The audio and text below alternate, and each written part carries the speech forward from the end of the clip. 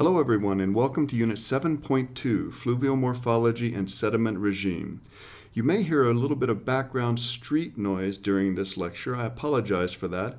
I'm recording this from Kigali in Rwanda and this is the quietest spot I could find. But in this lecture we'll look at key features and processes of fluvial morphology related to e-flows and we'll consider the concept of a sediment regime. Sediment accumulations of the river channel, its riparian zones, and floodplains are the physical template for habitat formation. But it's not a fixed template. Rivers are continually changing form in response to long-term geological and climatic processes, as well as seasonal and annual patterns in hydrology and river hydraulics, which repeatedly build, tear down, move, and rebuild the physical template organisms depend upon. Let's begin by looking at some of the relationships between river corridors, their flows, and sediment loads. Flowing water is a powerful erosional force in the geological cycle, combining with chemical and other physical forms of erosion to level mountains and transport sediments to the sea or inland basins. River corridors are the pathways for sediment transport and display characteristic patterns along their longitudinal lengths. Note the three primary zones of river corridors labeled along the top of the figure on the right. Headwaters lie in the highest elevation zone of the river. Headwater river corridors are characterized by steep slopes and large grained bed material. In headwaters, the capacity of flows to erode and transport sediments typically exceeds the rate of sediment supply or deposition, so only large material remains in the river channel. Discharges are relatively small because headwater zones are dominated by streams and small rivers. Further downstream, river corridors become less steep and channels and flows grow larger. These middle reaches are referred to as the transfer zone because sediment erosion and deposition are more balanced and transport dominates. The amount of fluvial sediments, or alluvium, stored in the river corridor is still relatively small in transfer zones, but begins to increase as the slope of the river further decreases. Finally, the river corridor enters the deposition zone, where slope is at its minimum and flow is at its maximum. This is a zone in which deposition exceeds erosion and large amounts of alluvium accumulate. Delta areas are an example of depositional zones in river corridors. The photo on the left is a good example of a river in the transfer zone. We'll look more closely at the morphologic features in rivers like this a little bit later in lecture. Let's look a little more closely at the capacity of rivers to transport sediments. This figure shows the relationship between the frequency and magnitude of river flows to the load of sediment transported. First, look at the curves labeled frequency and sediment discharge rating curve. The frequency curve plots the frequency of different discharges in a river. The most frequent discharges are low flows, and higher flows occur less and less frequently. The sediment discharge rating curve plots the relationship between the sediment discharge and water discharge. This is a positive relationship, and sediment discharge increases exponentially with increasing water discharge. But note that sediment discharge is virtually zero at low flows, which occur most frequently. This means that most sediment transport occurs only at higher flow levels and therefore infrequently. The final curve on the graph plots the product of sediment discharge magnitude and frequency. The highest point on this curve is called effective discharge, which is the single discharge responsible for transporting the most sediment. Lower flows occur more frequently but transfer less sediment overall, while higher flows transport more sediment per unit time but occur less frequently, so they also transport less sediment than the effective discharge. Like bank full flow in hydraulics, effective discharge is quantified for many rivers and used as a standard for comparison among rivers. Now let's narrow our focus more and look specifically at the influence of flow velocity on the erosion, deposition, and transport of different grain sizes of sediment. The graph shows diameter of sediment on the x-axis and flow velocity on the y-axis. Both scales are logarithmic.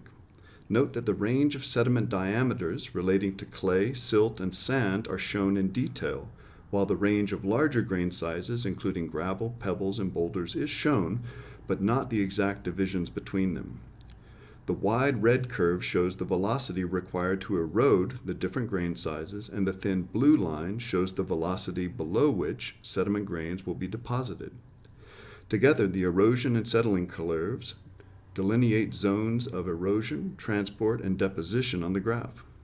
Note that higher velocity flows are required to erode both clay and larger grain sizes. The high velocities required to erode and transport large grains is not a surprise and relates to the mass of the grains. The high velocity required to erode clay and fine silt may surprise you. This is due to the cohesive forces between the small grains. These are electrostatic forces that are lost as soon as the grains are eroded. Note that once these grains are eroded, flow must come to a standstill before they will be deposited.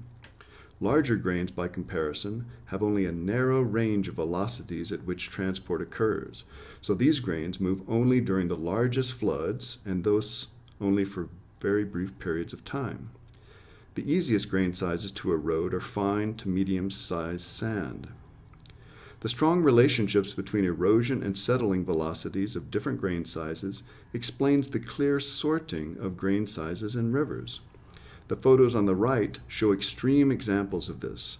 The cobble and boulder beds on the left are the result of flow regimes with regular high velocity flows that have flushed away any fine grains. These are characteristic of beds of headwater streams and rivers. The sand channel on the upper right is more typical of the beds of rivers in middle reaches or the transfer zone we saw in the last slide, while the mud channel is more typical of a river mouth uh, near the sea. Of course, it is also possible to find all of these grain size accumulations in a single river channel because of the large differences in velocity that occur in complex channels over variable levels of flow. Such heterogeneous beds also provide the most variable habitat types for organisms. Insects and spawning salmonids will make use of the gravel and cobble sections, while riparian vegetation will make use of the sandy banks of rivers. Over time, imbalances in erosion and deposition will cause rivers to aggrade or degrade. This happens on many scales ranging from the whole basin to individual river reaches. Aggradation is a steady infilling or buildup of the river channel due to an excess of deposition, while degradation is a steady downcutting of the river channel due to an excess of erosion. The balance between these two conditions is illustrated very well by the cartoon scale on the slide. On the right side of the scale, we see the factors of slope and water discharge represented, which are also both related to flow velocity. Note that the weight of this side of the scale will increase as the amount of discharge increases and as the slope increases. On the left side of the scale, we see factors of sediment size and load, the weight of this side of the scale increases as sediments become larger and as load increases. When the weight of the left side of the scale exceeds that of the right, the river will aggrade. When the weight of the right side of the scale exceeds that of the left, the river will degrade.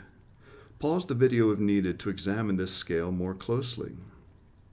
The photos show an example of an aggrading river and a degrading river. Be aware as well that human alteration of these factors can also cause a river to aggrade or degrade, thereby changing the nature and amount of sediments and related habitats for river organisms. The interacting processes of sediment erosion, deposition, and transport produce a wide variety of fluvial landforms as listed on the right-hand side of the slide. Some of these, like riffles and pools, I've already mentioned, and others, like towheads and terraces, I'll not have time for. So you might want to take a moment and Google some of these for yourself, just to get a feeling for the full range of features possible in natural rivers. Many of these are ecologically significant. For now, I'd like to focus on the meandering river in the graphic and some of its features. Note the channel meandering through a floodplain. During floods, the river will spill over its banks and out onto the floodplain. Under these high velocity flow conditions, the river is likely to be transporting a large load of large grain sizes of sediment. As flow overtops the river bank, velocity drops quickly and larger grains are deposited to form natural levees. while finer grains are transported farther onto the floodplain with the more slow moving flood waters. The most distant part of the floodplain may accumulate mud in backswamps. Occasionally, there may be breaks in the natural levees and high energy river flows may spill through to form small floodplain deltas called crevasse splays. In the channel itself, flow is fastest and most erosive on the outer bend of meanders, as you see in the image on the lower left. This causes erosion on the outer bank, which is called the cut bank. Conversely, flow is slower on the inner bank, or point bar, and this leads to deposition. Combined, the erosion of the cut bank, followed by deposition on the point bar, causes rivers to slowly move across floodplains, a bit like the movement of a slow moving snake. Meanders that grow too long will also be cut off by the river, forming what are called oxbow lakes. These are common and ecologically important features in a section of the Middle Mara River in Kenya, which we've featured throughout this course. As we've learned, classification is an important part of river science and, by association, e-flow science, because it provides a framework for understanding the status of rivers in form and function, and also allows for comparison between rivers. A number of classification systems have been developed for rivers, ranging in level of detail as well as suitability for different purposes. Perhaps the most widely used classification system is that developed by Rosgen, I'm not going to say much about this because I've included a link to a small training on the Rosgen system in the additional resources section of this unit. To give you a sense for the system, I've included the Level 1 classes on the slide. Level 1 classes feature river characteristics resulting from relief, landform, and valley morphology. Level 2 classes, which are not shown, provide more detail about channel form and bed composition. Level 1 classes range from class AA plus to class G. These classes organize rivers along a gradient of decreasing slope. Classes AA plus, A, and B are mainly headwater streams, while classes C through F include rivers in the transfer zone, but with differing channel forms. Class G refers mainly to smaller gullies feeding into larger rivers in low relief areas. Especially in classes C through F, there is a large amount of information about relative magnitudes of erosion, deposition, and transport over different time scales reflected in the class designations. I encourage you to have a look at the web link to explore this more. Measurement of sediment load is similar in some ways to the measurement of discharge. In fact, discharge is required to compute load, which is the product of discharge times the concentration of sediment in transport. You'll remember the description of discharge measurements from the last unit. At the same time discharge is measured, hydrologists should also collect sediment samples to be dried and weighed to quantify the grams of sediment per liter of water. When this value is multiplied by the number of liters per second of flow, the sediment load in grams per second is determined. Accurate sediment sampling is challenging, however, because sediment concentrations vary with depth in the river and also with position across the river. This is due to relationships between the flow velocity and transport capacity presented in slide 4. A sampling system to deal with this variability is shown on the slide. It consists of a collection vessel oriented into the flow with an interchangeable nozzle that can be larger or smaller depending on the river size or velocity. This sampling system is lowered from a boat or bridge at a constant rate over the entire vertical profile of the river. The bottle fills at a rate proportional to the flow velocity, so it provides both a depth and discharge integrated value for sediment concentration. This provides an accurate value for the quantification of sediment load. Hydrologists and geomorphologists are also working to develop reliable methods for measuring sediment loads using ADCPs, but we're still in the early days of these efforts. But sediment does not only move in suspension. Some larger grain sizes are almost never found in suspension, but they do move downstream along the bottom in what is called bed load. This is more difficult to measure, but samplers have been designed, like the one you see in the photo on the left. There are also wading techniques using nets, as you see on the right. To end this lecture, I'd like to introduce you to the concept of the natural sediment regime, which was proposed in 2015 by Ellen Wohl and colleagues to expand the natural flow paradigm to include consideration of the natural sediment regime in river systems. But defining and quantifying a natural sediment regime is extremely difficult compared to flow regime. One reason is that significant human alteration of river sediment regimes dates back earlier than alteration of flow regimes and has also been more severe. This is because land use change and other early human interventions have more pronounced impacts on erosion processes and sediment transport than on water runoff. A second reason is the comparatively limited data set available. For example, over 33,000 USGS gauging stations have flow records longer than 10 years, but less than 2,000 sites have records of suspended sediment concentration longer than 10 years. Only nine sites have records longer than 50 years. Data from one of these, the Maumee River of Ohio, is shown on the slide. Days of the year appear on the x-axis, years on the y-axis, and suspended sediment load on the z-axis. Assessments of regional change in sediment regimes are limited to the deltas of major river basins, which in most cases have been significantly altered for more than a century. Given the rarity of sufficient knowledge of truly natural sediment regimes, Wohl and her colleagues recommend instead that rivers be managed to achieve a quote, balanced sediment regime. This conceptual framework begins with quantifying sediment budgets, which involves measuring sediment inputs and outputs from river sections. As the figure on the slide indicates, inputs should include sediment transported from upstream as well as from adjacent uplands, tributaries, and floodplains. Output should also be measured in these longitudinal and lateral directions. They recommend analyzing sediment inputs and outputs in terms of magnitude, frequency, and duration, and to compare the dynamics of these loads in different river sections to better understand overall dynamics and influences on the component of sediment stored in, river, in the river channel, banks, or floodplains over different time periods.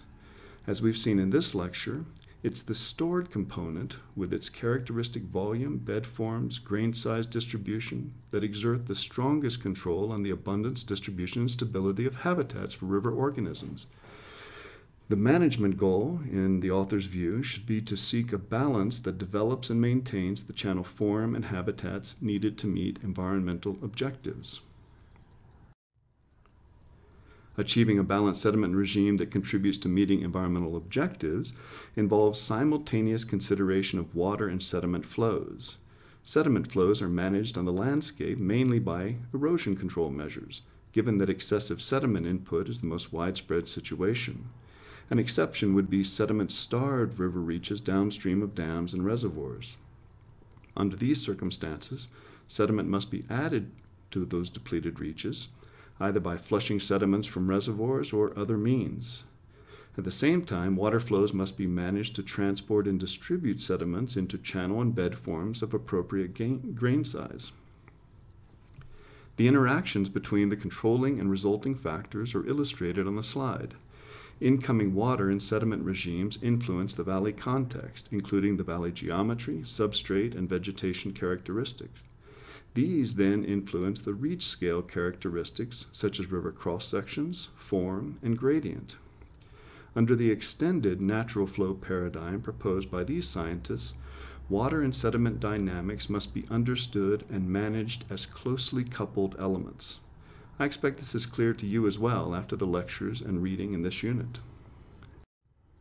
So what are the take-home messages?